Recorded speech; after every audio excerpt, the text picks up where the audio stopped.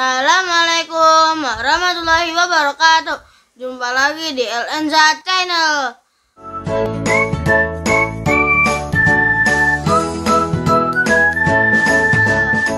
Kali ini aku mau membacakan hadis jangan suka marah.